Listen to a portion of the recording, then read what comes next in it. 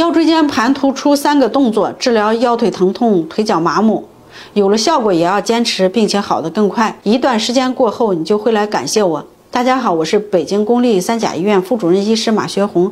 您知道吗？腰椎管狭窄的患者呢，有一个共同的特点，就是间歇性跛行，这是一个非常典型的症状。或者呢，患者走一段路呢，就会出现小腿的发胀、发酸、发沉，还有麻木、疼痛等一系列的症状。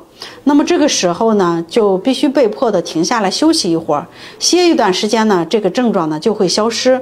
那还可以继续走路，而骑自行车或者是弯腰推购物车的时候呢，通常不受影响。这就是典型的腰椎管狭窄症。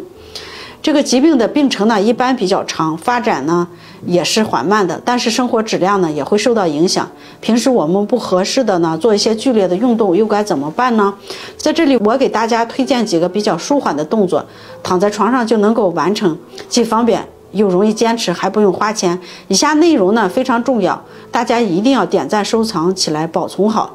第一呢就是屈腿抱膝，先左腿再右腿，每一遍坚持三十秒。第二个动作呢就是婴儿式的睡姿，我们跪在床上，同步呢坐在后脚跟上。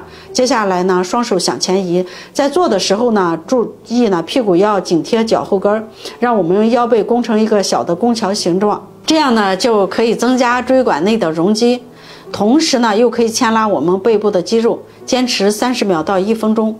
那第三个动作呢，就是把我们的双腿呢卷起来，然后呢向一侧旋转，坚持三十秒。如果做不到呢，就先坚持十秒，后面呢逐渐的增加时间，然后我们再做对侧的旋转，坚持呢每天呢早晚各一次，每次呢做两组，坚持下去一段时间过后，记得来感谢我。